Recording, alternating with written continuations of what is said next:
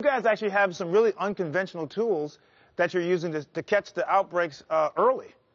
Well, we do have uh, wastewater-based epidemiology, which goes back a couple of decades uh, in in public health uh, surveillance of, for instance, polio uh, in large water treatment plants.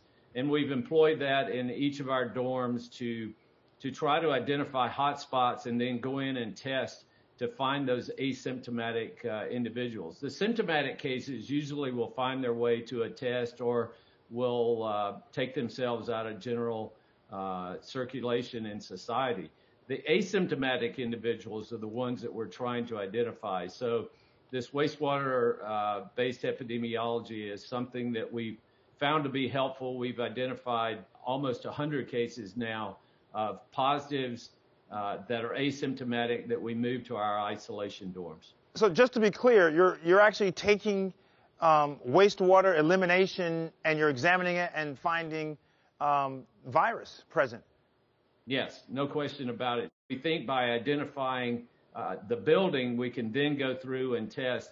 And we've also done more uh, focus testing through contact tracing from symptomatic individuals who've been in those dorms. And when kids do break the COVID rules, what do you guys have in place as far as discipline, or how do you handle that situation?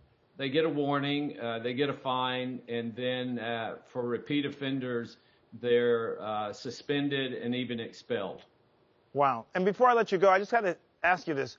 You know, a big, big complaint or um, worry that people have is that schools really want to open back up for financial reasons. Everyone knows that schools, just like every other industry, has been hurt financially, and that schools are rushing back because in order to collect tuition and room and board and everything else that comes with it, the kids need to be on campus. How would you answer that? We need the tuition revenue, but we're not going to um, continue to do it if we can't safely uh, protect, particularly our most vulnerable population.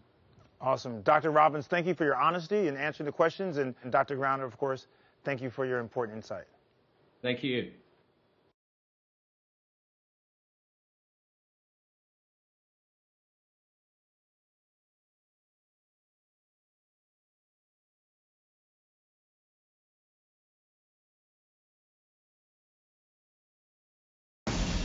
We're living in uncertain times. It's tough to keep up with the latest medical headlines. About the market, panicked about COVID. And how do those headlines impact you and your family? On season 13 of The Doctors, we want to empower you physically. If I met them at dance, they would meet me at medicine. Man, I love that emotionally. If I can change my thoughts, I can change my feelings. And medically. He doesn't have his mask up, which is not a good thing. This is the million dollar question, maybe the trillion dollar question. This is so critical for people to hear. We're giving you the inside track on health and wellness so that you can get back to the life you deserve. It's time to take back your power. The doctors, now more than ever.